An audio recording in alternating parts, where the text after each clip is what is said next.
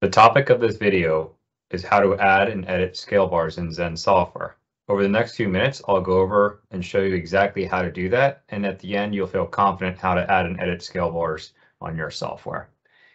So after you take a picture in Zen, if you want to add a scale bar in this top menu bar, you'll notice the graphics menu. Simply click on the graphics menu. And as you scroll down, you'll see the fourth option is scale bar. Clicking on this will place a scale bar in the bottom right corner of your image. If you would like to move the location of this, simply hover the mouse over the scale bar and click and drag and you can place this to the desired position on your image. If you hover your mouse on either the left or the right square icon on the scale bar, if you click and hold, you can actually resize the scale bar by dragging. You rotate your mouse in a clockwise or a counterclockwise fashion, you may resize this um, as well as change the orientation to vertical or horizontal. After you find the desired location of the scale bar, if you would like to change the color and the format, simply right click the graphic and choose Format Graphical Elements a window will appear that allows you to change the line color, text, and fill options. Starting from the top, what you can see here, this bar corresponds to the color of the line. So what we can do here is change the color of the bar itself.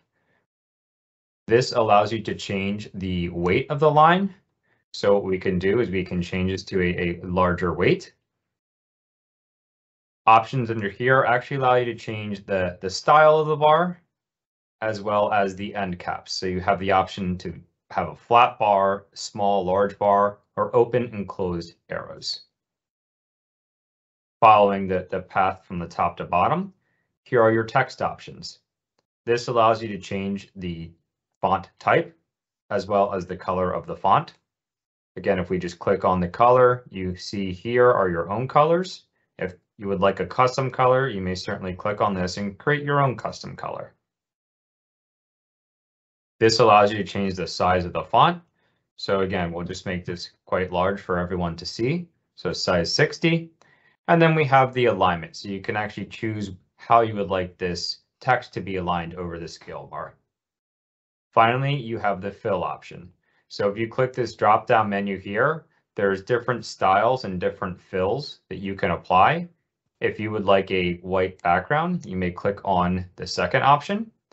If you want to change the background to a different color, you may also choose to do that by clicking again on this bar that allows it to change the color. If you would like this to be the new global default for every snapped image, simply click Set as New Global Default. And then each time you add a new scale bar, it will always appear with these changes you have made. So I'm just going to delete this scale bar.